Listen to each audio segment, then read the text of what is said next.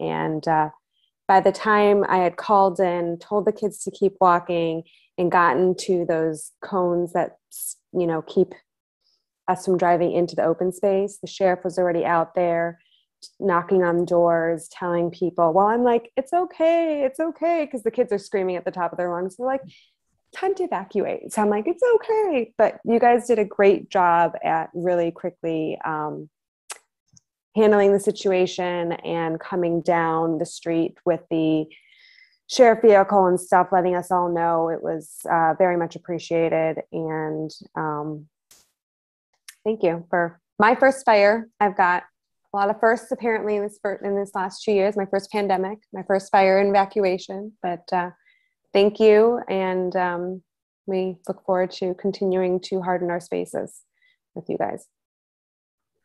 Thank you. I think the only question I have is, we got those I like those NOAA radios or whatever. Mm-hmm. And I know mine broke, so I, I know why mine didn't work. Like it's I yeah, so I don't know. I know we were working, and I think it was Chief White that was working with you, Eric, but I could be totally wrong because that's just when I started up on the on the commission here. But um, those were should those have gone off if mine worked?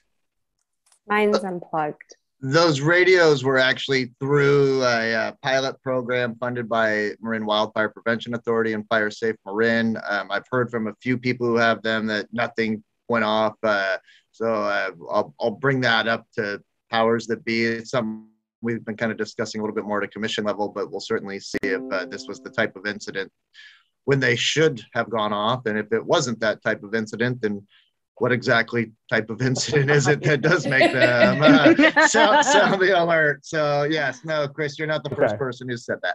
Okay, cool. Thanks. Yeah, mine went off when there was high winds, but didn't go off for this. So. I, and I don't, I don't unfortunately know the answer to that off the top of my head. I, that may be a separate alerting that has to be engaged, but uh, just today actually had a, a, conversation with the superintendent from the school district and just reiterating, you know, how challenging cell service is out in that area. And so it's certainly something to consider uh, you know that that a lot of folks may not really have great communications out there and that that weather radio might be the right thing for yeah. for that type of thing yes i got my um, notifications from Nixle the following day oh. but so did you, you pack up here? and leave well my neighbor called us when we were out of town saying that we were being evacuated so I uh, make you stress b- even more. Bill, before you go on any public comment too, I also want to point out uh, Deputy Chief uh, Bob Sinnott um, actually came here while the incident was happening and uh, stayed here right in front of the firehouse and the community center. Uh, and was really good at you know a few members of the public coming up and asking questions and looking for uh, information and he was just an incredible resource to have available to us to be able to do that and be right here i mean he couldn't stay for long and he eventually moved more over towards the incident itself but um, the fact that he thought enough to come over here and, and, and stay here, even though we had other engines constantly swapping in uh, for coverage in case there was other calls or medical calls. Uh, having Chief Sinnott here was just uh, so uh, Chief Windrum. Uh, I've told this to Chief Sinnott already, but please reiterate that we were very appreciative of his time and recognizing that, okay, public's going to have questions and uh, the answers just sound a lot better from somebody wearing a uniform and a badge. So it was, and not to mention, I mean, it, he's about the most perfect person to uh, play that role at that point in time because yeah. he's just, he's very calm, he's very reassuring, he's very uh, congenial and, and warm and welcoming. So again, um, please express my gratitude and uh, on behalf of everybody who talked to him. I know a lot of people were very appreciative of having him there. Awesome. Will do. Will do. I and I was one of them. Yeah. But I want to just tell you, Eric, I trusted you too. I trusted your response as well. So yeah, and I I want to reiterate. I mean, I was I was incredibly impressed by the quick response and how this fire was was handled. I mean, it was also my first fire in this area, um, and it kind of it brought to mind just a couple of, of questions. One of them I'll, I'll bring up now. One of them I might bring up later. Um, it, I noticed that when the evacuation orders came out, um, everything that I I read indicated that there wasn't there wasn't anywhere for anyone to go who was to who was being evacuated. And I guess I'm I'm wondering, and I don't know if this is the right place to ask the question. I mean, do we have some sort of a, a plan in place, or are we maybe drawing something up that maybe can can ha- have some sort of plan um, if we find ourselves in this situation again where people are needing to evacuate, having some place to go? Yeah. So after all of these types of incidents, we we all, almost always do some sort of an after action review, and even the next day, um, folks that were involved with the evacuations and the alerting aspect were were having that discussion, and that was an area that was identified as um, a, a, an area to improve. In that, hey, we need to we need to direct folks to some, you know, uh, uh, they have. Uh, a whole lot of terminology and acronyms, but I think it's a, T, a TEP, a temporary evacuation point. Just essentially kind of, you know, go to the east side of the highway and hang out at the cinema or something, you know, that some something along those lines to provide that information. So I think that, that was missing in the early alerting, um, but has been recognized as an error that um, folks are taking as a lesson learned for future um, needs like that. Um, interestingly, we were we were hampered at the incident command post as well with the, just the cell difficulties. You know, it's such a such a different ball game when you you know it's hard to make a phone call and just have a two minute conversation. So, um, but that was an area that was definitely identified. So thanks and thanks for bringing it up. And to follow Chief, up, sorry. Go ahead. Sorry. I was just going to say to follow up on what Lisa said, um, we helped our neighbor who is in her 80s and had family who evacuated from Tahoe and showed up to then get evacuated from here. They went to the Civic Center and she's been here since this area has been built. And she's like, Oh, you just go to the Civic Center. You always go to the Civic Center. So apparently, in the past, when things have gone down in the neighborhood, they used to go to the civic center. So if we're going to go with what the older people do, Not all of them. not all of them. A lot of us just went to bed. Well, some people went to Northgate to go eat ice cream and have coffee, and other people went into the city. So it, people went everywhere. But the older people who are not going to be as mobile, and those are the people that I think that we're most concerned about, are um, are people with kids, right? Is they went to the civic center. So if that helps you with what you're planning, if this is like people's jerk reaction is to go to the civic center, maybe that's a good idea to do it at the civic center. I don't know. Yeah, it's definitely my, that. not, my non-expert. two Yeah, that's that's one of the areas that's often used, and we've utilized it over the last few years a couple of times as an evacuation center, primarily taking people in from outside the county. But um, it's de- it, it definitely has a lot of those things that you'd be looking for when it comes to um, the the infrastructure to support something like that. Uh, Chief, if I could also follow up on this, um, you know, in the middle of this, I was, uh, you know, uh, back and forth several times with uh, Quinn Gardner, who's the San Rafael Emergency Services Manager, as well as other people from the Marin uh, OES office. And uh, they were able to coordinate. Um, the YMCA did open up their facility as a temporary uh, staging and evacuation center. Um, by the time they got that, I mean, this was pretty short lived. The actual evacuation order was pretty quick. Um, and we were certainly looking at that. They did put it out. I believe it went out on one of the uh, either the Alert Marin or Nixle or both. Um, but literally within 20 minutes after that information going out, the order wound up being lifted uh, and downgraded to a evacuation warning. So they there was certainly people working in that moment, coordinating. A lot of times our facility becomes this, but we were in the evacuation zone. Uh,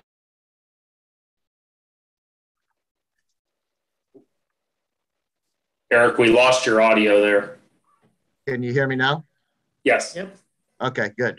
Uh, anyway, they were moving through with the YMCA, and by the time they were able to get uh, coordinated with the YMCA, which literally was not long after this incident started, it was also very quickly then after uh, the evacuation order was downgraded to an evacuation warning. So there was certainly a lot of work happening while the incident was taking place to coordinate a, a level of, uh, of, uh, of eva- evacuation place for people to go and stage while they waited. Mhm. Fortunately, it wasn't needed. I think a lot of people wound up going to the parking lot at Northgate Mall and waiting there. I heard a lot of people had a lot of ice cream and drank a lot of coffee. Coffee. Um, Lisa, I don't want to cut you off. Did you have any other questions? No, no, no, thank you. That, that, that, that, that was, that was it for me. Okay. I have just one question is as a board member, what is our role? I understand that the first is safety and to get out, but is there any other requirement that we need to do? I, you know, I think, I, I think probably the biggest thing is, um, you know, based, uh, and this is not official. This is probably not in the California Code of Board regulations or wherever you find those sorts of things. um, but would be would be just to just to having gone through this, um, you know, you're now you now can help those neighbors and those folks in the community who may be identified that they never got the alert Marin warning because they although we've tried to um, advertise so many different ways what what to do um, and how to sign up for that, they they never gotten signed up, or um, you know that that they're not in they're not ready to um, they're, haven't gotten those alerts, et cetera. You know, after the Santa Fe Hill fire, we dealt with that. You know, folks saying, know, I realized I just don't know how to get alerts. I never got anything. I'm, I'm I must not be signed up. So, you know, there's sign up for Nixle via 888777 and text your zip code. Um, there's, uh, you know, alertmarin.org to actually get signed up. And then, you know, talking with neighbors about the, those, the older folks who might need help. You know, do you know who amongst your neighbors needs help? And, and that's just for any, any citizen living in our communities, but particularly for you folks as leaders in the community and involved in the emergency services. That's what I would kind of say is, is the is probably the best the highest and best use of your time and energy after something like this is making sure that you know nobody's going to slip through the cracks if we have to do this again. Okay. Thank you. Yeah. Well, thank you very much and we open it up to the public yeah one second please Stephen.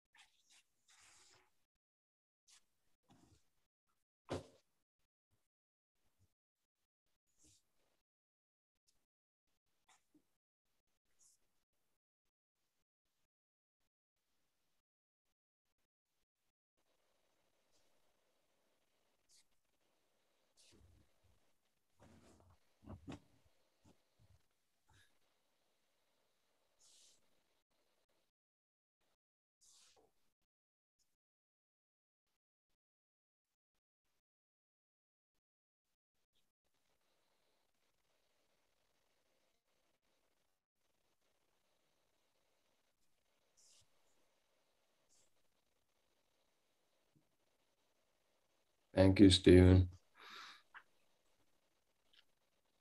Anybody else, Eric? Okay. I guess uh, that concludes uh, Chief Windrum. I really appreciate you coming in tonight. Thank And you very much. Thanks for having see me. you next month too. I guess I don't know. I, I anticipate the chief wife will be back. we'll see. We're such a fun group to hang out though. That's true. That's true. Thank you. All right. Thank you. Matt, thank you so much. Yeah, thanks, Chief. Thank you. Uh, the date of the next fire commission meeting is October fifth. Great.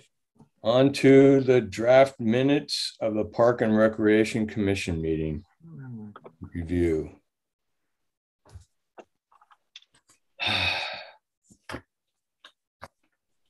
Any questions? Comments? Um, my sorry, I'm trying to get to the right page here. Where did it go?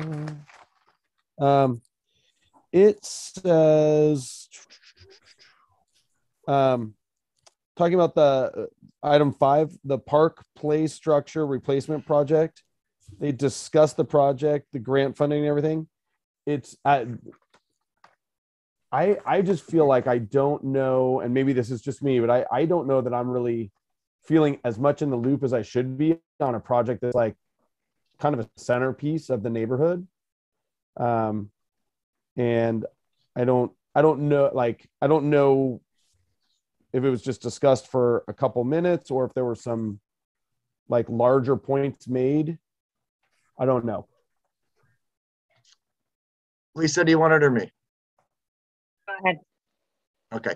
Uh, this wasn't discussed too much in this meeting. It was just more kind of an update. I'm trying to remember if uh, this was the board that approved this project. If you look in the PNR packet, uh, it also discusses the timing. This whole project uh, completion date is still a year and a half out. Oh, totally. Um, it's a grant funded program. The application uh, uh, for it is due in December, and that's just basically stating our intent to replace the playground component.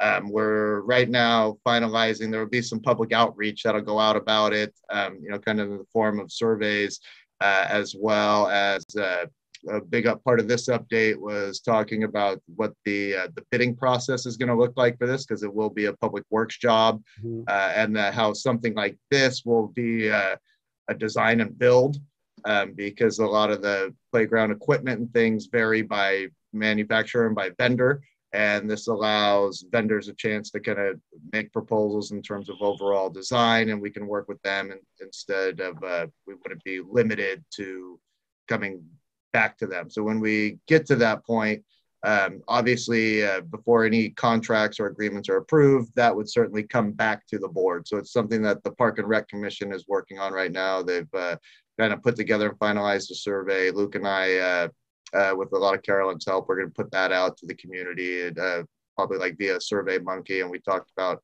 best way to get that information out there.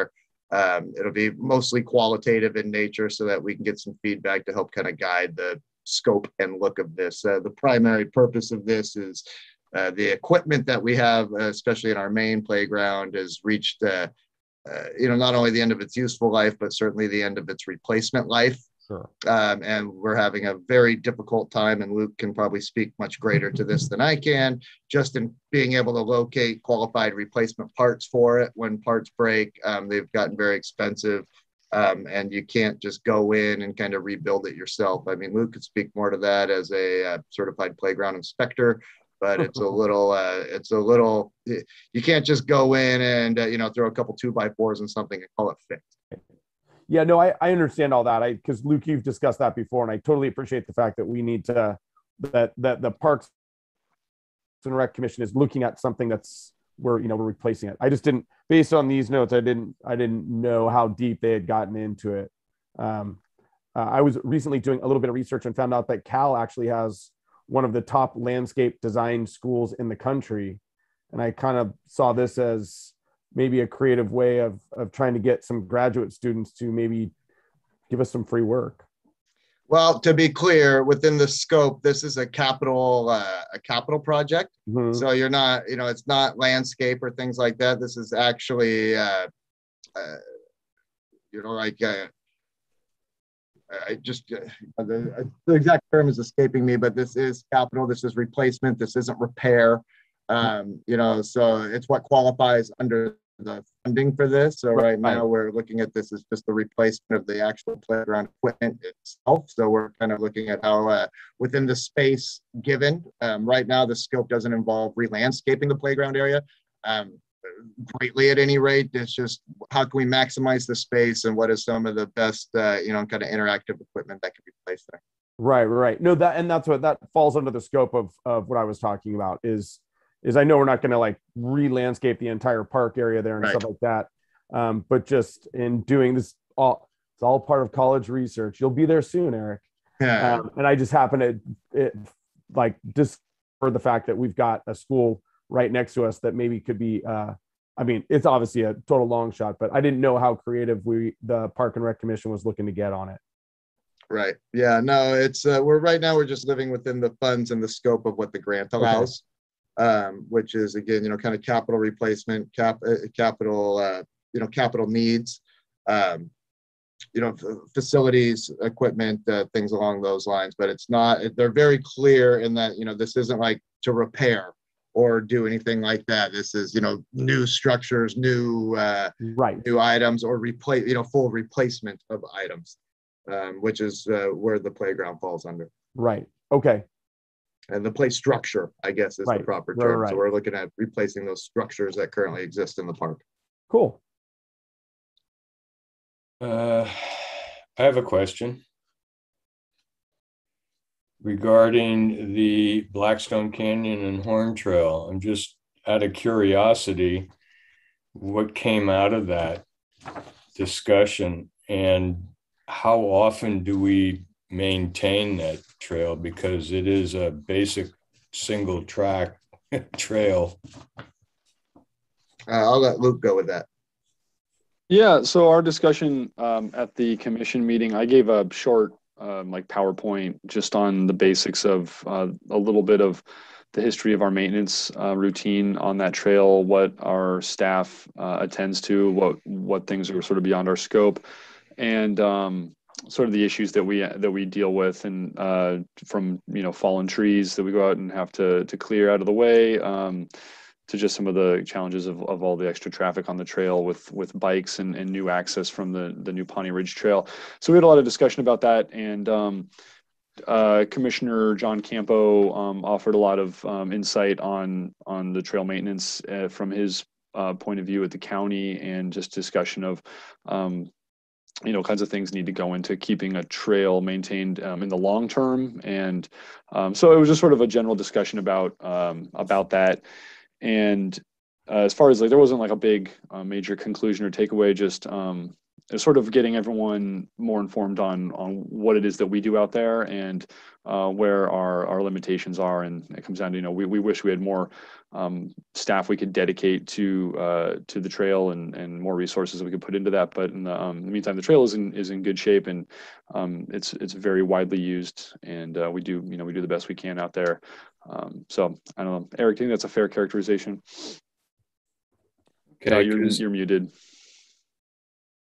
Yeah, no, I, I, I do. It was, you know, just also just kind of talking a little bit about, uh, you know, kind of some of the increased usage that it's seen lately and things along those lines. And there were some questions that came up around uh, it being a, a hiking only trail versus a multi-purpose that allows for biking and things like that too. So it was, Well, once you get to a certain point in that trail along the creek, there biking is almost damn near impossible. You mean coming down or going up? Uh, well, going up for sure.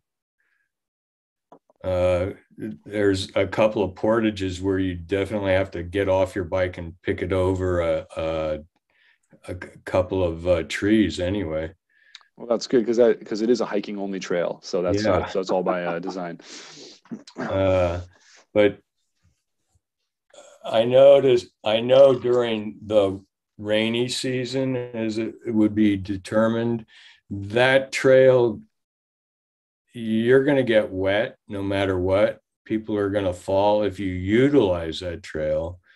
Um, and once you get up on top, because I've been up on halfway in between, there's been, there was a slide at one point that where the trail goes up to Queen, meets at Queenstone.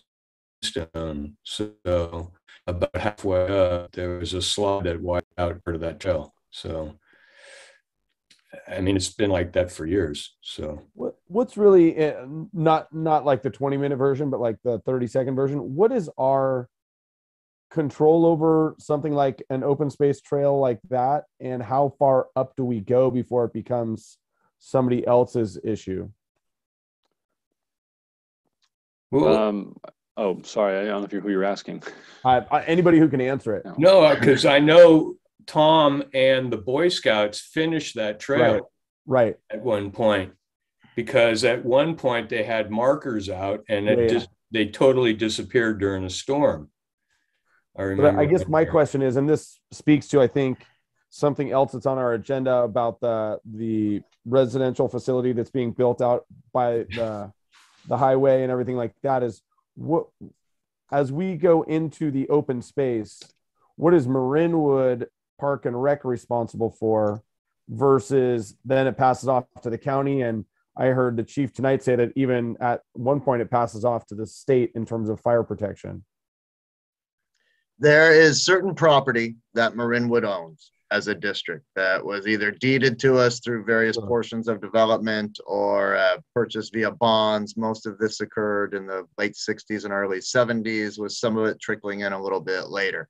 Any property that is ours is our responsibility. That Okay. said, we do have some uh, access and encroachment agreements, like say the new Ponte Trail, that was built and is maintained by the county open space district um, but was actually placed a large portion of it runs through property owned by marinwood it also runs through some other property as well as their property Mhm. um, the chief was referring to where that other one started i mean i can show you maps it's very hard for me to kind of explain it here That's fine. I, I'm just trying to get a general idea, Eric. yeah basically where idylberry meets the county facilities Yep. All open space immediately north of that kind of resident line right Mhm. there Mhm. um, that carries through uh, you know down to blackstone canyon Mhm. um, that whole portion is ours but then when you get past kind of blackstone lane and blackstone canyon there's large chunks of open space there that are owned by um, the local Regency Homeowners Association. There's 30 or 40 acres that are owned by uh, the Catholic Charities and the Carmelite Mhm, Monastery. Mhm. Um, then you go into so it gets pretty confusing as you get Okay. out there. We have about 800 acres, Okay. and unfortunately, there's not uh, open space uh, city limit signs out there. um, and so yeah, they don't call us. This doesn't belong to us. Area. exactly. So so in essence, for that property that we own, we could through recreational purposes do whatever we want with it. Um, to a degree, sure. In Okay. theory, we could. Uh, we, we that said, and we're going to get into this in a With later. what Yeah. part of money, Chris? know. Well, our- what do you want to do? Yeah, our, we, we have very limited resources on that. Yeah, We have no, I get that. Limited staff, uh, limited finance, uh, all of it, uh, without a doubt. So that Yeah. certainly limits what we can do. I, the open space, when it was purchased or deeded over, uh, was done with the intention of preserving it as open space um, Right. and basically preventing further development. Uh, it wasn't it wasn't done at that time for purposes necessarily of recreation, is my understanding, and there certainly wasn't the hindsight of, um, you know, open space takes maintenance as well, and you Sure. don't just get to let it sit there and do nothing with it, uh, except stop people from ever being able to build on it. So it's uh, an agency like ours. I mean, it's our open space now, and I promise you, nobody else is going to take it. So uh, as much uh, as much as I've tried, because there's other agencies much better resourced and equipped to be able to properly manage the open space in ways that we just don't have the resources. Gotcha. Perfect. Thank you. Learning things every day. And Yay. Chris, don't suggest a board work day. Oh, I got all kinds of things. You got that new big truck. True. A haul, not work. Uh, anything else? Anything from the public? Yeah, one second, please.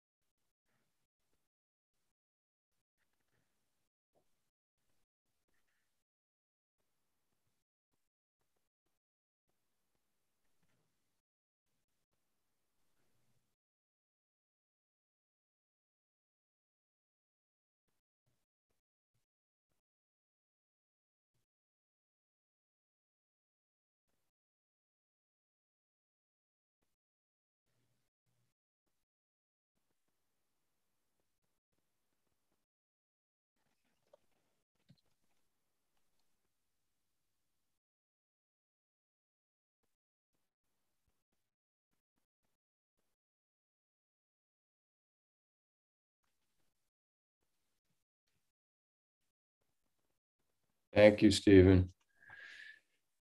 Uh, If anybody has anything else, we can move on to number two. Potential trail along Miller Creek from Los Colinas to Marinwood Drive. Uh, yeah, I tried to, uh, you know, I have a brief staff memo in here and I'm going to just try to speak to this a little bit more. And as I put in the memo, you know, back in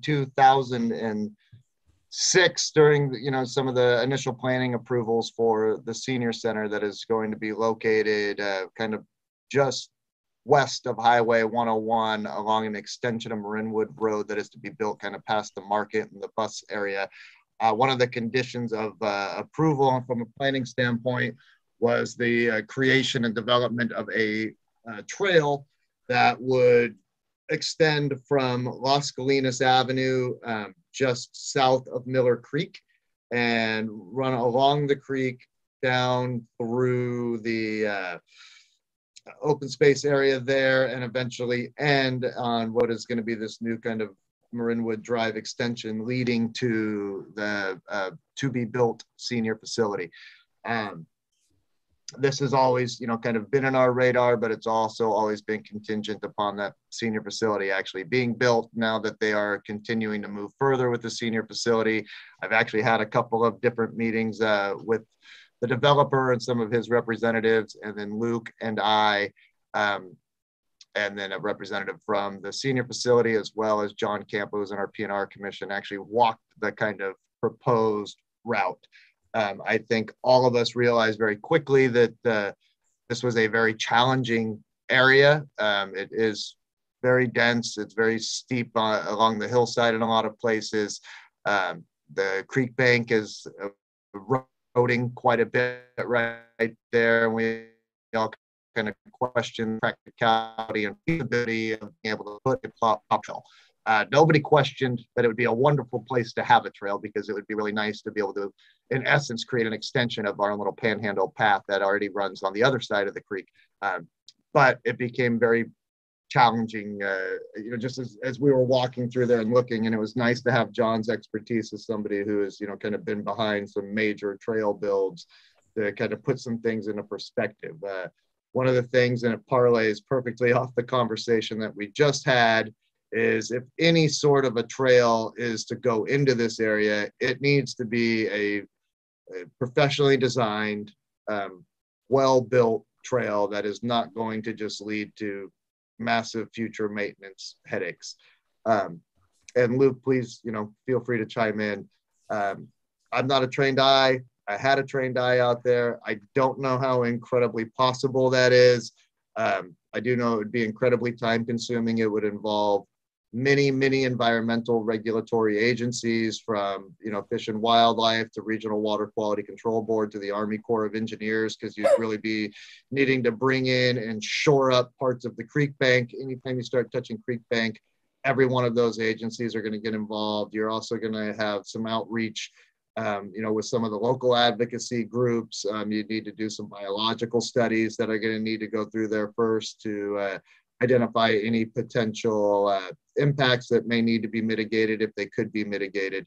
Um, as you know, much as I think we were all looking forward to, hey, this would be a great place to put a trail. I think we left our walkthrough uh, kind of scratching our heads and wondering exactly how practical it would be to put a trail there in that area. I don't know, Luke, do you have any other kind of recap from that?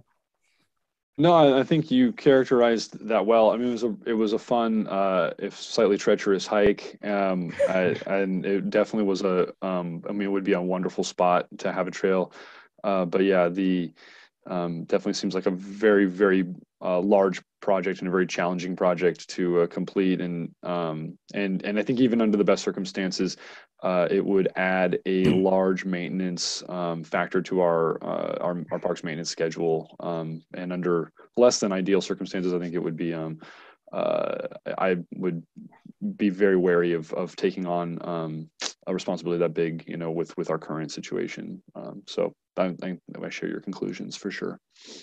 Yeah, it's so.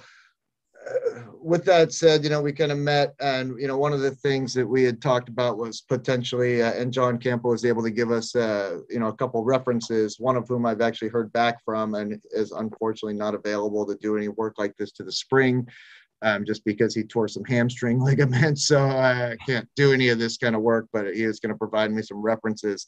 Uh, you know, one of the things we talked about is, is it even possible to get kind of an initial feasibility study from, you know, kind of an independent uh, third party, uh, you know, trail designer uh, before even getting into trail design, just so somebody can look at this area and say, you know, what, what are the uh, the obvious challenges, the obvious impacts, and what would even be the potential cost, the timing, um, is it feasible? Is it practical?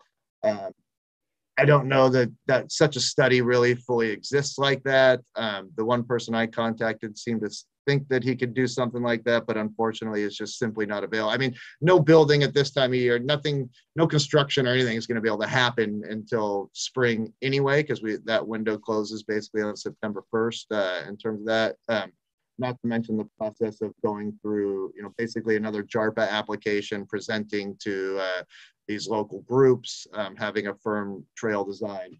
Uh, in recognition of these, I did hear from the developer um, who basically has made a good faith offer and said, look, I recognize these challenges, uh, but, you know, also recognizes uh, that this is a condition and, and you know, it has made an offer for a one-time payment to the district of 35,000 to help maintain other open space areas uh, in lieu of building this trail.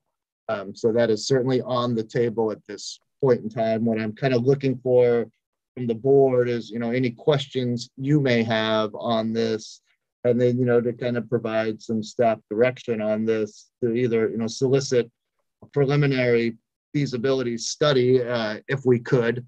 Uh, something like that, I think, probably falls somewhat out of the scope of the responsibilities, just in terms of this initial feasibility study. I think any sort of trail design would most likely come from the developer. Um, but, uh, or just to simply accept a one-time payment offer from the developer in lieu of this trail. Um, again, I, I, I, reiterate that, uh, you know, I think Luke picked a, a, proper word. I mean, it was treacherous. We were, you know, crawling under and over and around things while we were through there. It's incredibly overgrown area. I think, you know, 16 years ago, 15 years ago, when they had this, they kind of just envisioned a simple trail that kind of, uh, you know, a volunteer crew could come through and uh, and mark out and do. Um, I'll tell you right now, there's that that's not a possibility.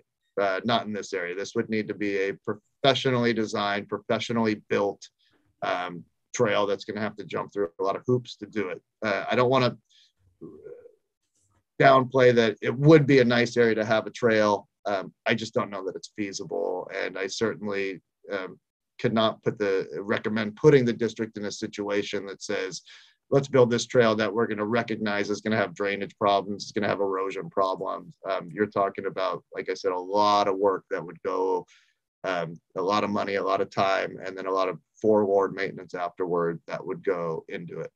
Um, so I, you know, I don't, I don't necessarily have a recommendation at this point, which is kind of why I put this as a discuss and direct. Um, but I, I saw more, I, I saw a lot of challenges for an agency such as ours to be taking on. My question would be that based on the information that you and Luke have provided us, um, that sounds like one, that building the trail is a condition of the construction of the project. Should we accept it? Yes. Well, if we accept it, but this is in the contract of the developer in order to build his project, he has to put in this trail. Um, uh, it's part of the it's part of the planning approval. That said, it would run through our property, and we certainly have the right to say, look, we've discussed this, we've looked at this, and we've decided to forego doing this trail, at which point that would remove it from his planning approval requirement. But okay, if we if we sorry, accepted Bill, it though, no, I'm sorry, Chris. If we accepted that though, he would be under contract to build it. And it sounds like it would be an extremely expensive project to build just the trail. So when I was looking at that 35,000 being like a, that's kind of a cough. He's getting off the hook as far as I'm concerned. So um, I, I, I was leery of this whole thing. Yeah, well, I, I, I understand where you're coming from on that, Bill. I should also point out that, um, and it's funny because the way we've been talking about open space here, uh, the the they also deeded the district a, a large piece of open space that exists between that entire hillside. There was privately held by the Daphne Trust when they split off and became lot one, which is now where they're building the residential facility uh, right. development, and then lot two, which is proposed, they also deeded the district uh, remaining open space that fell in between. And this is when the district was still in the mindset of let's acquire open space and preserve it as open space. So the district certainly got a large piece of property out of this and I just think that the vision and the intention of what that trail would or could be at that time is entirely different than what that trail needs to be.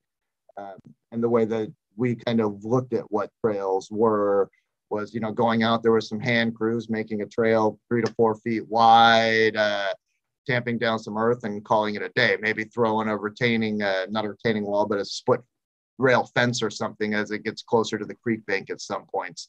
Um, that area, I, I can tell you right now, I'm very happy that we didn't do that 15 years ago because that trail would become a constant maintenance challenge for us, especially if it was done in such a way. Well, uh, yeah, but so the land that they deeded, that's part of the hill, correct? Yeah, that whole hillside there, um, the All kind the of way up between, to the top? Yep, and all the way back down to the I mean, other side. It's not even buildable land, so that was just like extra. You know, they, they just got rid of it and gave it to Uh, us. well, I, I, I think we asked for it, to be quite honest with you. Um, yeah, I don't 15 know. years I- ago, we asked. Yeah. I'm, all I'm thinking is that 35 grand seems to be a little light Okay. to I think I walk can- away from their Yeah. ability to build this thing. Um, I think I can shed a little light on this because unless I'm mistaken, I was on PNR when we accepted this piece of property. Great. Um, and it was definitely the Daphne family knew that they were never going to be able to build on that entire piece of property. And so, uh, as you were saying, the trade off is they get to build that small piece um, on, I think, what you refer to as lot one. Um, but I know that those of us who were involved in that conversation envisioned something along the lines of what we have going from Miller Creek out to Las Colinas, that it was going to be uh, a, a wider path than just a traditional, you know, not much wider, I would say, than than most of what Blackstone is. Um, we walked it as well back then, um, and I, I'm in agreement with Bill on this one. Like, I'm not saying I haven't walked it recently. I'm not saying that we should put the path in there, but man, if we're gonna like this guy's to throw us or this company is to throw us 35,000 that that's nothing right? Because their whole buildable plan there is contingent upon making this path happen.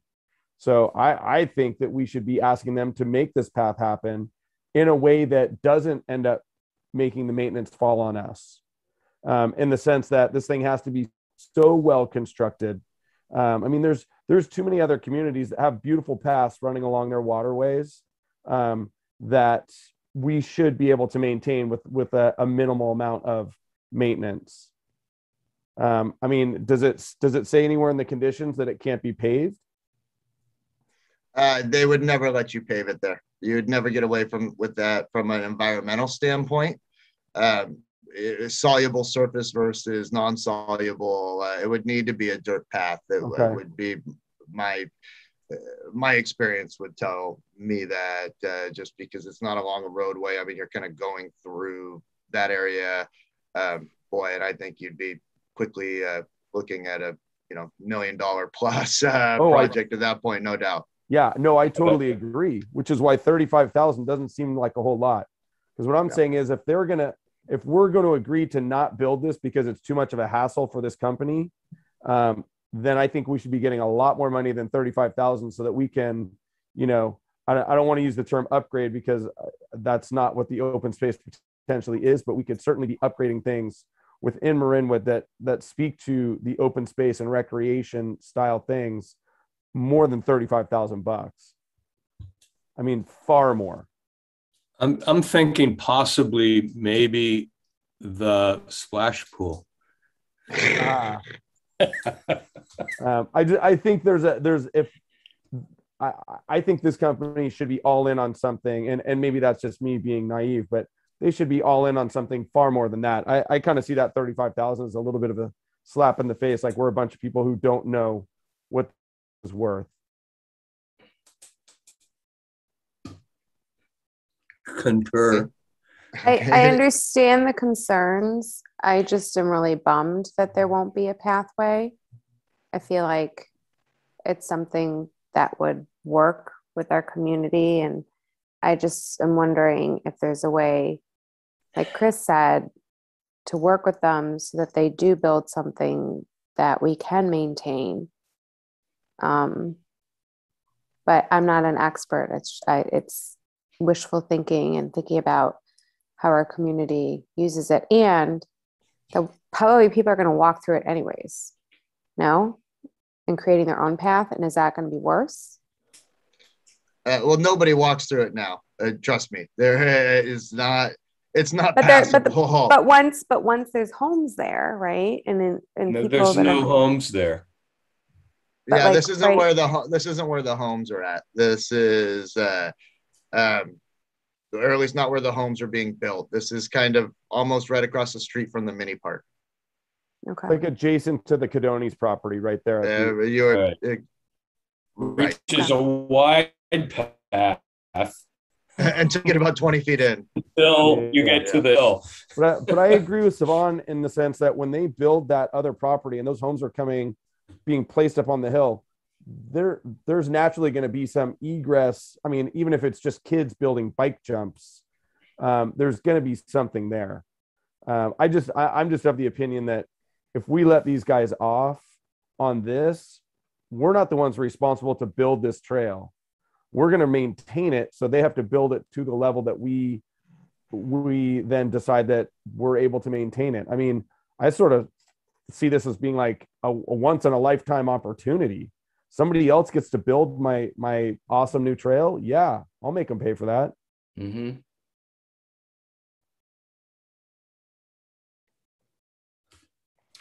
Any- Anybody else? Else want to chime in?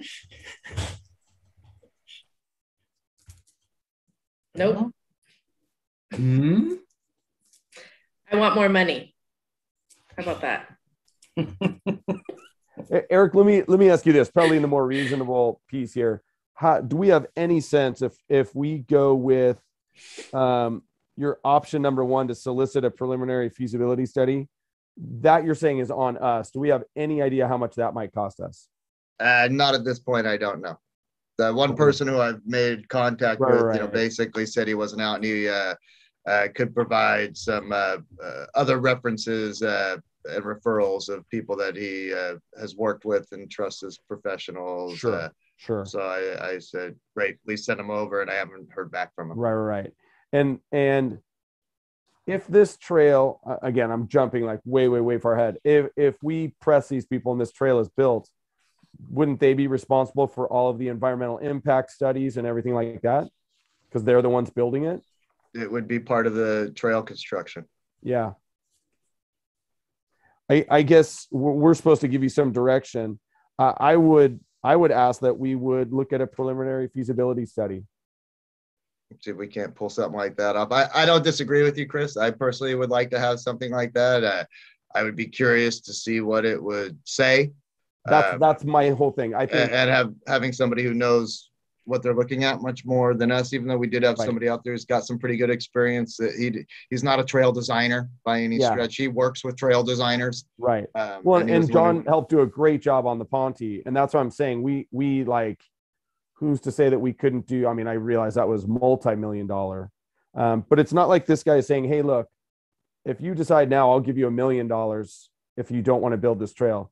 This guy is basically saying, "I'll I'll, I'll buy your toilet paper for the next year." I mean, this is nothing.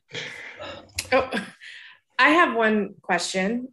If they're building, wouldn't there, and I know we're not, there's a difference between a fire trail and a fire road, but would they not have to build some kind of fire trail?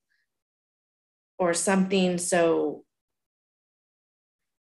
no, there's access? they'll have access. Um, Access through Marinwood Drive. Yeah, they're they're extending Marinwood Drive. It's going to become a long paved road leading to their facility, kind of at the bottom of the other hillside, parallel to 101. Oh, gotcha. Yeah, it's going to go up uh, on, on the bottom of the hill, just Up just and south of the way, just south of the way station. They're gonna wipe out the graveyard. Yep. I see a series of bridges crisscrossing the pristine creek as we watch the salmon spawn once again. Oh, there'll be a bridge.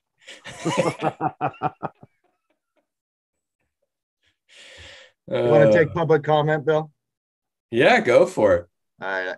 one second. I'm gonna bring uh, Irv uh, Schwartz over. Irv, can you hear us?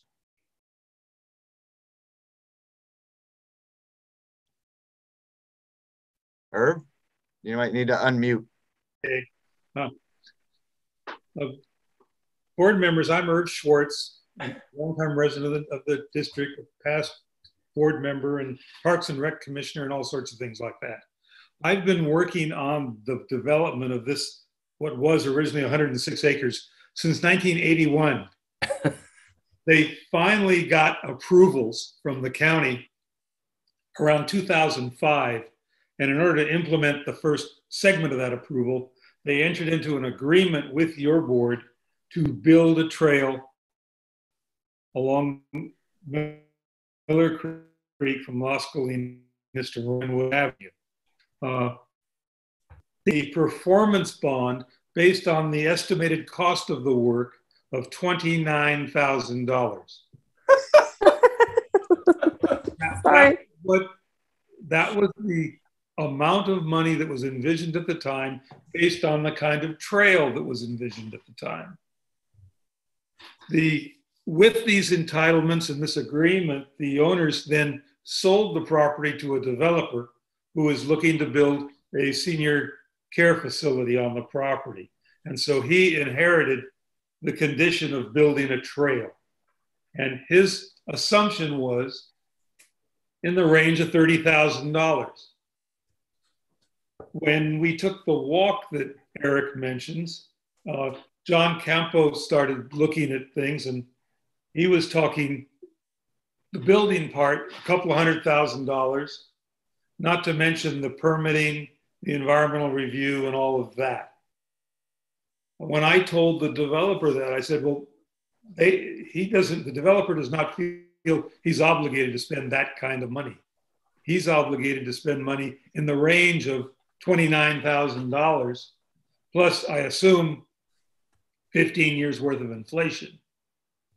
I don't know what that comes out. But he said, how about if we offer the district to make a one time payment in lieu of building this trail?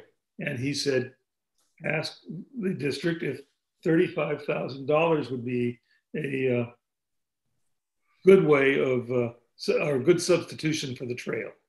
So that's a little more context than what you had a few minutes ago, I hope. Thank you. If you have questions of me, I'm here. Thanks, Irv. Thank you, Irv. I appreciate it.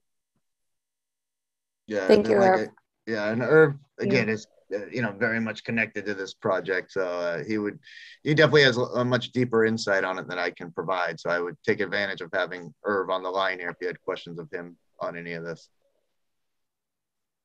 That kind of brings it back. wow.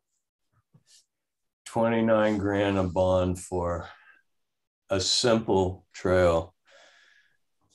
Um, Irv, it, I'm trying to figure out what I want to ask. Um, are are are they in fact responsible to build us the trail? I mean, uh, my you know the house I live in now, probably you know my parents bought it in '76 for eighty nine thousand. I think it's going to be a little more expensive than that now. Um, do, don't I mean, aren't we doing market value here? Um, Maybe there's something I'm missing. Well, that's why I said, uh, and I'm not a, a, financial person, Right, I'm not It- either. it would be reasonable to take that $29,000 figure and inflate it to for 15 years. And maybe that's a proper number. But Okay. that's, I think, as much as this developer will spend on a trail. And in, in listening to John Campo, it sounds like that may be the cost of the study you're talking about. Right. Not, not even the design, just Yeah. the feasibility study. So so if if we were to say nope, we want a trail and we want you to build it, what then? What do you think are, are is the? pot- I mean, is this guy potentially just going to turn around and say, "Sorry, I'm not going to build my facility"? No, but I think you may get a thirty-five thousand dollar trail. And if you, if you if you take if you walk it like I did with, Yeah, yeah, I've walked it before. I totally know what you're talking about. you know, I walked it back in you know 15, 20 years ago, and it was Yep. totally different then. I think you and I walked it together, to be honest. Yeah, maybe, but it's right up against the eroding bank of the creek. That's the problem. Because the first thing the developer said to me was, can't we just move it away from the creek? And the problem is the hill is just too steep. It but just, John Campos solved that on Ponte. No, but this is parallel to the to the right. Slope. No, no, no. I know, but if we particular to it, if we took it in a little different direction, I mean, if you went Ponte straight up, which was the issue with Ponte prior to this new trail, it's all the switchbacks.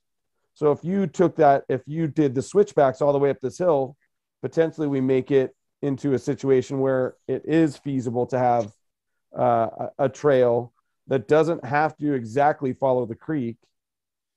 Well, the condition is that it follow that that it be located within the existing grade bench along the creek okay. bank. It be a wide graded. Is that what it trail. says in the in the in the agreement? Pretty much, yes. Interesting. Okay. Thank you, Irv. I really appreciate it. I did a quick calculation. I'm sure that Kathleen can do this too better.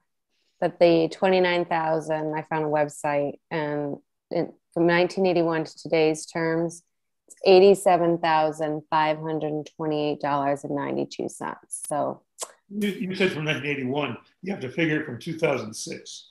That's oh, it's from 2006? 2015 years. Oh, so it's even less. Sorry. I mean, neither of them is going to pay for anything that would resemble a trail. That, so. that's, the, that's the thing that was so disappointing to me because I wanted the trail there also. Uh, hmm. Interesting. Hmm. Anybody? Any more questions? I have no idea. I don't. Thanks for spending the time tonight, Irv. Appreciate it. Uh, Welcome. Thanks a lot, Irv. You're welcome. Um, well, uh, I would like to get some feedback as to kind of what you would like to do because yeah. the developer is proceeding with this project. Yeah. now I'm hesitant, Chris. I think we have to get our other public comment first, though, before we can move forward, right? You are correct, Chris. Let's uh, let me move on to bring in another one. If you can hold on to uh, Bill, do you want me to leave Irv in uh, for context, or go ahead and, and move him out? Yeah, I mean, he might as well listen. Okay, one second.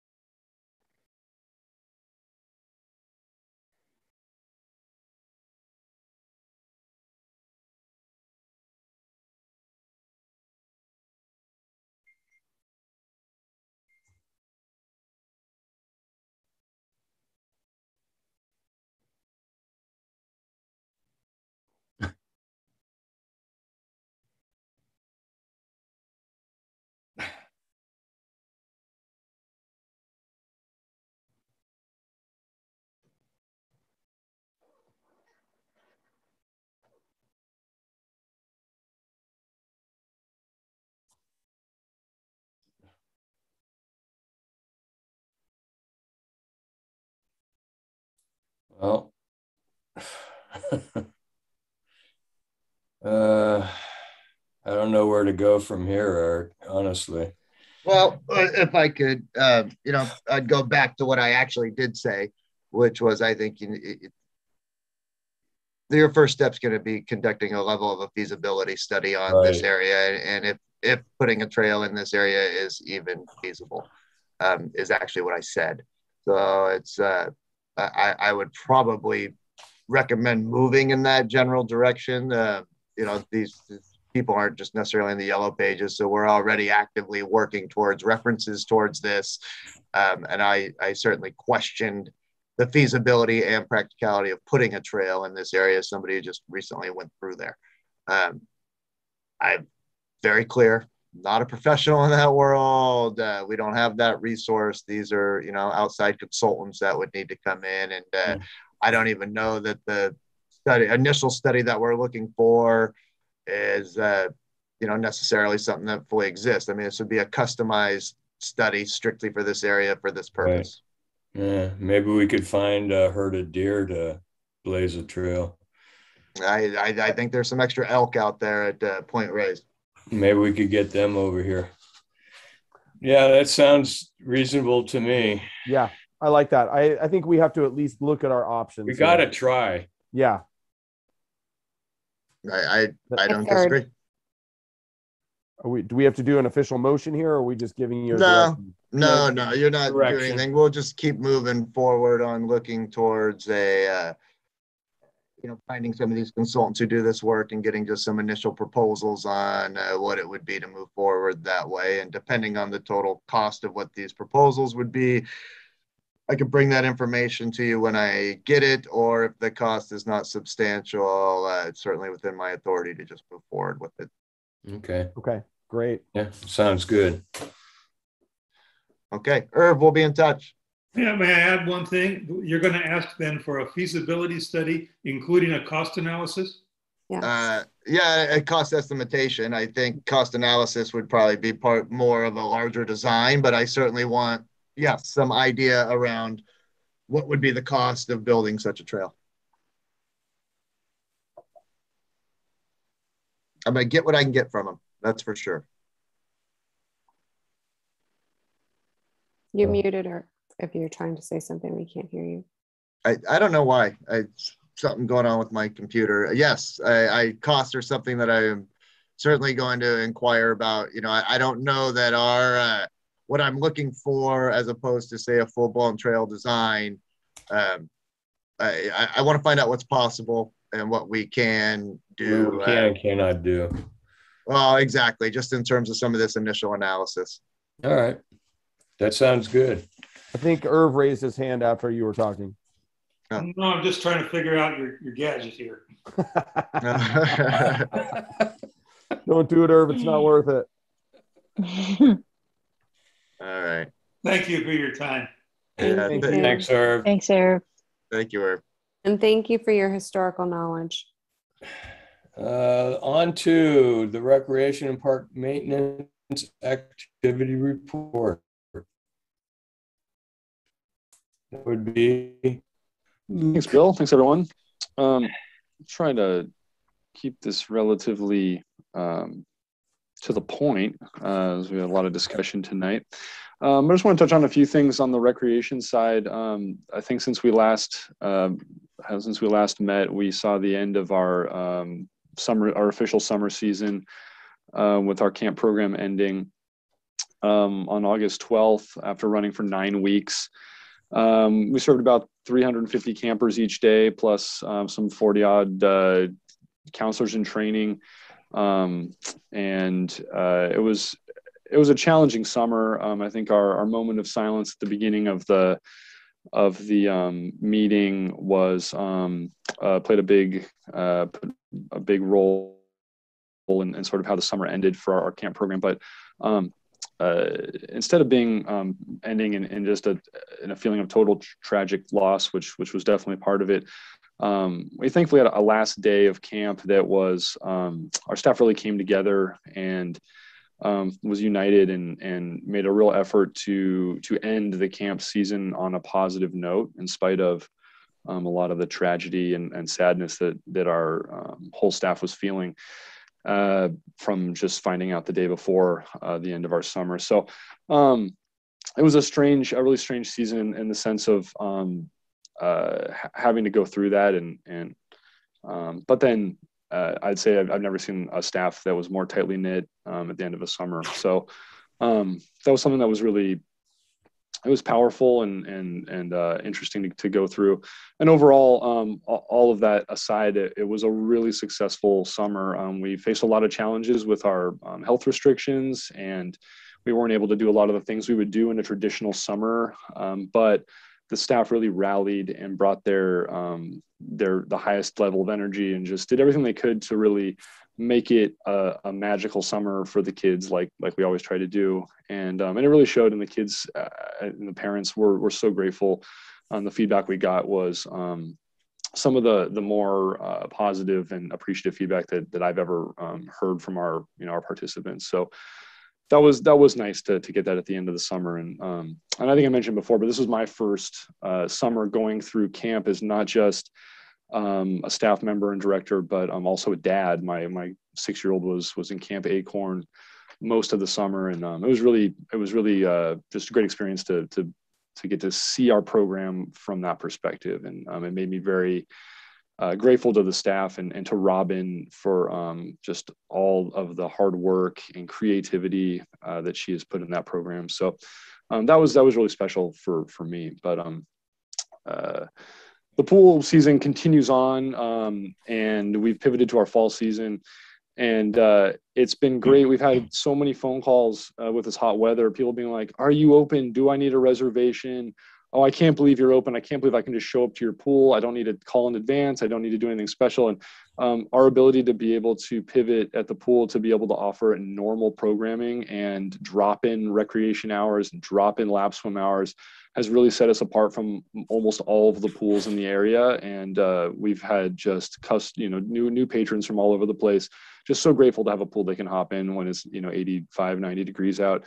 And uh, I've just been very very pleased with it. The staff was able to um, with John Paul and, and Robin and the part time and the lifeguards were able to to pivot and add in these hours, change our situation from from being all reservations, all restricted to to be able to do something very very normal and to just accommodate um, the summer pool demand in a way that a lot of places for whatever reason haven't been able to do. So i'm very proud of the of the staff and it's been um, it's been a great season. We've had swim lessons going um, that are filling up. We've had um, just a, a, huge crowd every day um, and it's been it's been great. So fall season goes for an, about another month a little less than a month.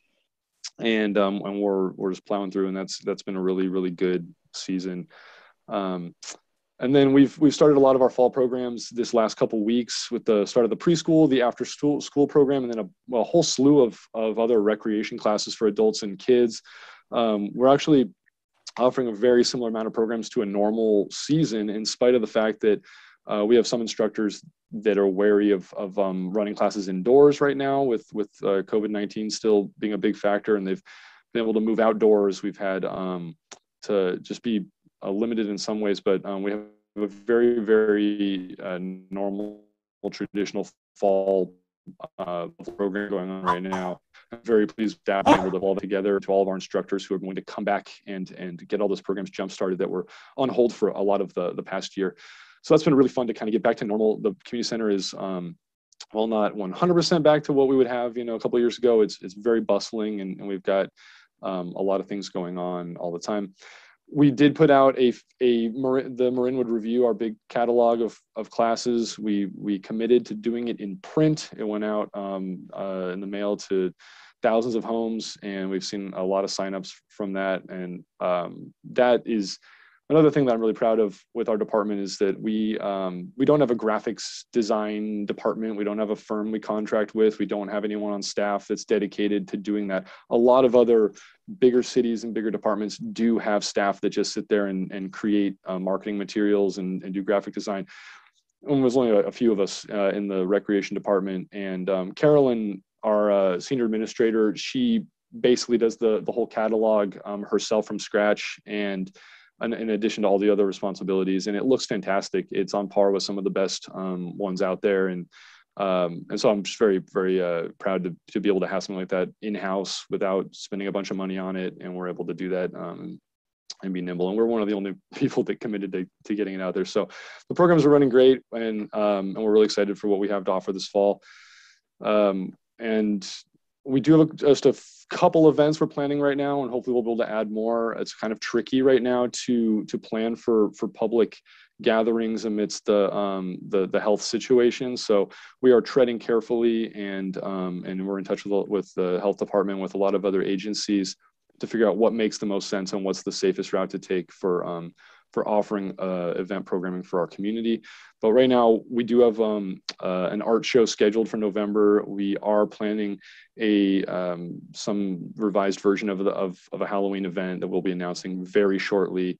Um, it definitely won't be a giant uh, open house um, in, indoors, but um, we, we will have something that, that will be a lot of fun and, and staff's working hard to come up with something that makes sense that um, that is that that's a safe move for everyone. So we'll be we'll be announcing all the deals of that in the coming in the coming weeks.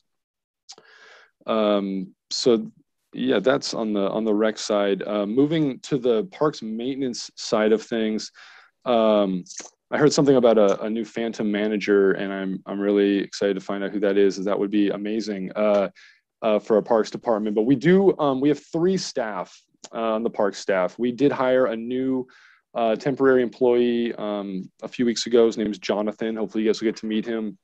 And uh, and he's been it's been great to have our our department made whole again. Uh, he's learning the ropes right now, and Estevan and Marco are working very hard to get him up to speed and train him on all the things um, that they that we need him to know. But um, uh, our staff used to be much bigger. We used to have uh, five, six people with a dedicated um, parks maintenance director. So things are definitely scaled down um, in the last handful of years. Um, but these guys, Estevan, Marco, um, have just really rallied to keep our parks maintained, keep our facilities up. The facility's getting older, but um, these guys work really, really hard to, to keep everything looking the way it does. Um, just a regular day-to-day and weekly tasks are, are a big job for a staff of three, one of whom's brand new um, in addition to all of their, their regular tasks, which I do list every one of my reports, just sort of like this is what they do, um, you know, throughout the days and weeks. But in addition to that, this last month, um, these guys were seen uh, rebuilding open space fences um, out on Kernberry. They were cutting up trees that had fallen um, on the path. And uh, thanks to Stephen, um, he did point one of those out to me over the weekend, a couple weeks ago, for us to to find that. Um, these guys replaced some sump pumps in the in the pump room pit. They're you've seen the fencing out at the park. They're rehabilitating the turf, um, seeding, soiling, uh, doing um, aeration, uh, fixing irrigation, and uh, they built uh, extended the retaining wall at the park's maintenance facility. And um, and then a big project that that involved um, a lot of the last couple of weeks was we are replacing a uh, or upgrading a water pipe in the park that is undersized for our needs. Um, that involved renting a big excavator, digging a big trench. Uh, they're out there soldering pipes, running um, all new pipe along the length of the park, and that's been a big project. Uh, they did a great job, and um, so these guys have a lot on their plate, and I am extremely amazed at what they're able to get done. Um, so just want to kind of appreciate Marco and Estevan and, and, our new guy Jonathan for um, everything they've done this past month. It's been a really busy month, and uh, it's been kind of a whirlwind, but they've been uh, doing doing great with that. So um, that's what I wanted to cover mainly. Um, I'm happy to answer any questions though.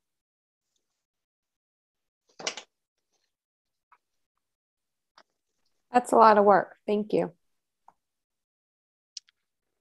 I have one question, and I just, um, and I know this is the wrong place to look, but on Nextdoor, there was a few comments about the sprinklers going off during the day.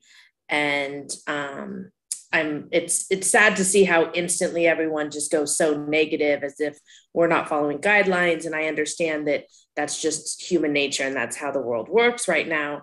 But is there any way like i'm assuming that we do follow the regulations and we are using recycled water is there a way to like just put out signs or whatever while we're doing all this work through a drought so it kind of quiets the talkers.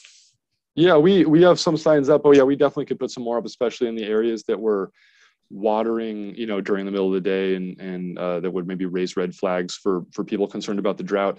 Um, we could definitely put some out, especially in the areas that are fenced off or they're getting a lot more water right now. I think that's that's probably a really a really good idea. Um, but yeah, we. Can I just want to keep their complaints. I don't want them going to the water department and then Eric's getting reports. You know what I mean? I'm trying to head this off before too much work needs to happen. Yeah, absolutely. We can definitely we can definitely uh, increase some of the uh, communication out there. Okay, thank you. Anybody else? I I just have a quick one, and I I think I've had this answered before, but like a million years ago, on my extensive commute to Miller Creek Middle School, when I cross over the Green Bridge, I know it, it, isn't that who like apart from the tennis courts, which I know we maintain, is it the job of the school district to maintain the vegetation over there? Which uh, part specifically are I'm you? I'm thinking like as I snake over the bridge and cut by the tennis courts. Um, I can't remember if it's if it's the school district guys that take care of the vegetation, like right by the tennis courts. It's just it it tends to grow up a little bit, and right now the the um that trail is I would say like two thirds blocked. But I think it's usually the the school district guys that do that, right? Yeah, they they hit that up. I mean, there's times when you know we'll go out there and, and do some of the things like if it's directly stuff's growing into the courts, we'll we'll take care of that to keep the courts clear.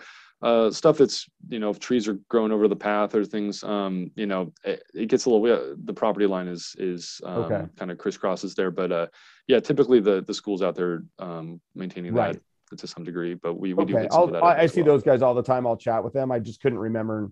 It popped into my head right now. Thank you very much, Luke. You you and your staff do an amazing job. Thanks, Chris. Who bulldozed the the uh, bike jump there? Was that the school? The That one, was a- oh, Oop, sorry, go ahead. Oh, I'm, I'm, I was just clarifying which one you're referring to, Bill. The one uh, on that the side one of the bridge. about let's see when I'm trying to remember when my son was so at least 10 years ago. It was There when was they a when they put the the new Right, path in. They replaced the path.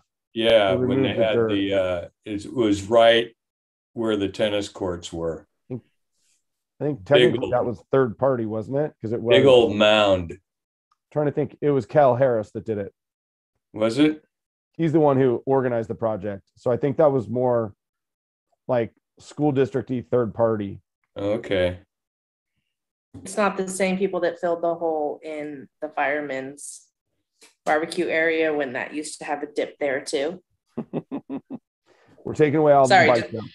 Wait, No more bike wait, did. I just age myself? I would say that Um, I know that uh, the the parks maintenance staff has over the years done uh, a lot of um, you know it's a little bit of a cat and mouse game, but going out and and uh, knocking down you know rogue um, jumps and and stuff that gets built um, out out there. But I I'd say I'm sure there's been other parties that have that have dealt with that as well. Okay. I'm just curious as to which. cool. Any other? Nope. Just thank you for all you guys do. Anything from the public? One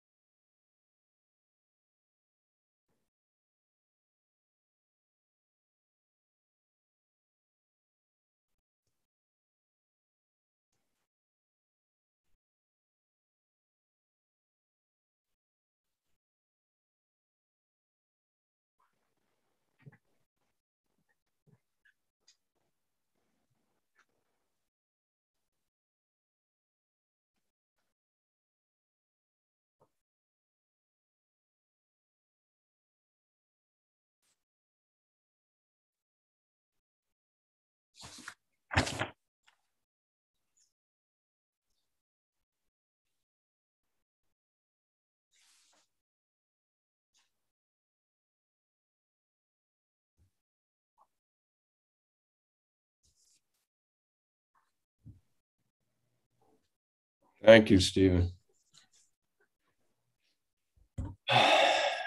Is there anybody else, Eric? I guess No, No, sir. Thank you, Luke. Thank you. Uh, the date of the next Park and Recreation Commission meeting is September 21st.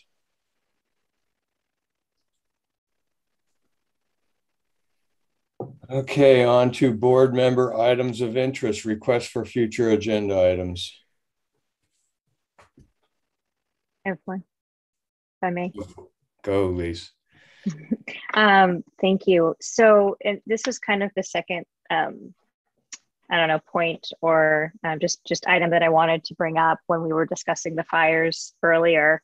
Um, the and I don't and I don't know if this is the right forum. So please, kibosh me, redirect me if if this isn't the place. Um, however, the the the, the cell phone reception in um, many parts of Lucas Valley, um, specifically um, as you get further west to Upper Lucas Valley, is um, it's it's always been kind of a nuisance.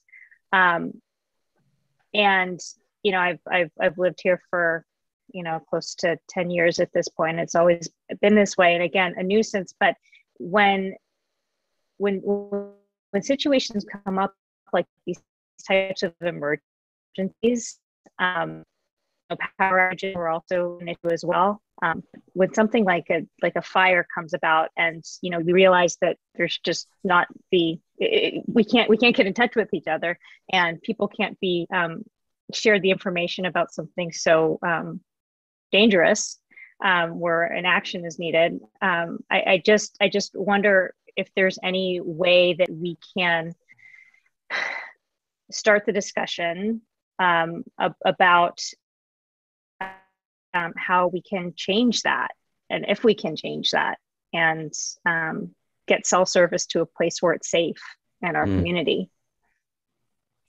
Yeah. I don't personally know that the district itself would have any pull nor authority in this, but I can certainly bring it up to uh, the Marin County OES office. I mean, we've done this before in the past. I kind of appreciated hearing uh, Chief Windrum talk earlier saying, hey, we were out there in the middle of this incident and we were having problems with, you know, what is some basic communication because this is kind of a dead zone. I, I think there's like one carrier who has a tower in that area, and I think it's like Sprint. Uh, and you know the old. I think they're the ones that work. Mhm. Um, I know that if I'm, you know, out front of the community center and pointed south by southwest with my other arm pointed in the opposite direction, I can sometimes get a signal. Um, I'll definitely speak to uh, uh, to the chief. Uh, and as well as you know kind of bringing this back up to the OES at the end of the day cellular carriers are private companies so i don't know what kind of obligation they have to fill these little pockets uh, but we can try to follow up with them and see. They would have some pool more than us especially from an emergency uh, response standpoint.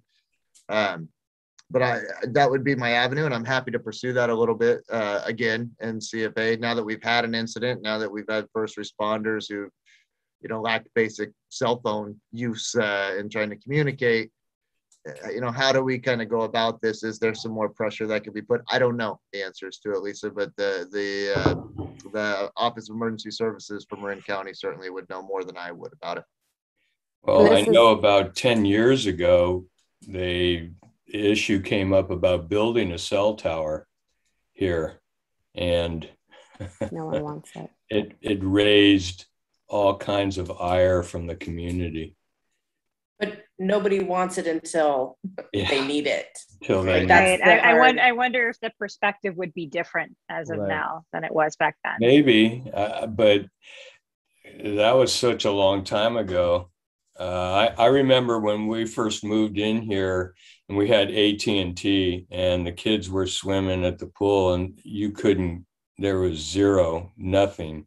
You had to walk out to the parking lot to get a bar. And that's why we switched to Sprint finally because Yeah, well, and I know with MERA, the Marin Emergency Radio Authority, this is a large reason, part of the reason why they're also upgrading at some point in time to uh, this, you know, next gen, which by the time it's done, will probably be old gen. wasn't that five years ago? That's still, yeah.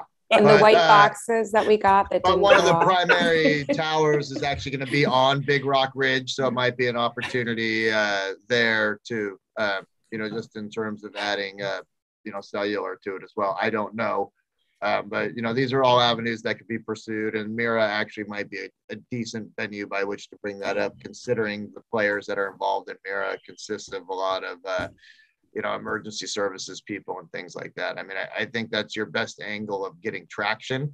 I I don't I you know unfortunately it's just such a small population. I don't know that uh, you know in terms of like AT and T or Verizon looking at it, they're like you know what's my ROI on this? I get a handful of extra subscribers, but uh, I think the only your best bet avenue is looking at this from an emergency uh, access response uh, and accessibility standpoint. So I'm I'm happy to bring that up. Uh, I'm happy to reach out to the OES department too. I have relationships with them and just ask, hey, is there anything here that can be done on this level? What about also thank maybe you. looping in uh, Damon on that and just trying to get him behind that as well? Sure. Damon Yeah. I mean, that might be a decent place to start from the beginning too, and just say, Damon, look into this for us. You, you have constituents who can't call each other during a wildfire. Right. Yeah, yeah, yeah. Uh, uh, for sure. It's a good suggestion. I don't. I mean, I don't. I don't know if it's a if it's a if it's a carrier issue or if it's a, a structure issue that we do or don't want to have constructed in our neighborhoods. I think that's kind of a piece of it too. Really knowing why why we don't have the coverage. Yeah, I don't I think know it's- why. I think it's why- both. Yeah, I don't. I I, I know that people who have Sprint uh, and their affiliates, their phones work, and I know people who have AT and T and Verizon, their phones don't. My, So- I have Verizon and my phone works just fine. Yeah, but if you go AT and T if you not. go up the block a couple blocks will it, Yeah, if you come to my house, Savon, it's not going to work unless you Yeah. go into our well, little router. and, and 20 years ago, AT and T didn't even work in Marin County. I mean, in Marinwood. So, No. like rule of thumb, if you got my voicemail right away, call the house phone because my cell phone wasn't working. So that's just well, let me how- let me follow up and it's see if been we an can get some ongoing. traction. I think uh, Damon Connolly is a good first step there too, and I'll definitely let him know that this came up at a board meeting in response to this thing. And what does he know, and uh, how can he help? he may put it into the planning commission. Yeah, maybe. I don't know. I, I don't. I don't know what the barriers are. I, you know, everything I say is just conjecture uh, Yeah. and not not educated. So Okay.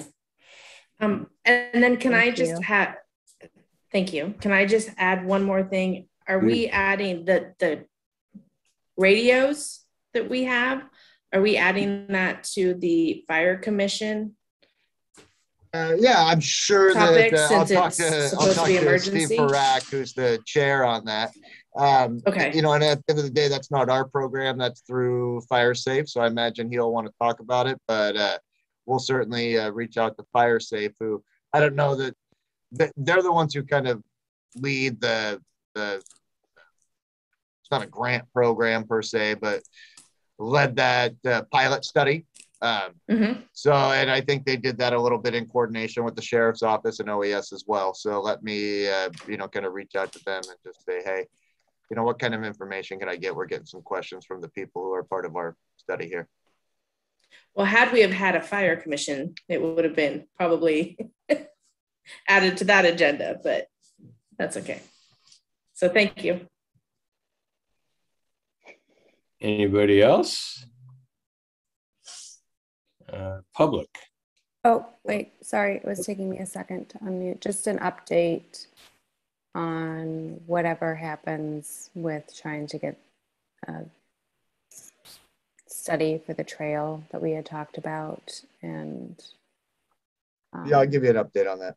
And then just to reflect the public's comments, if Chief White can have uh, written up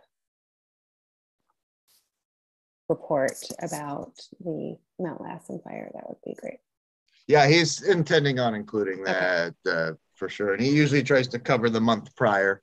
Uh, and that did happen to happen in that month, but he's certainly, I think, looking to have some sort of a summary uh, written report in it as well. I expect them back hopefully within the next couple of weeks.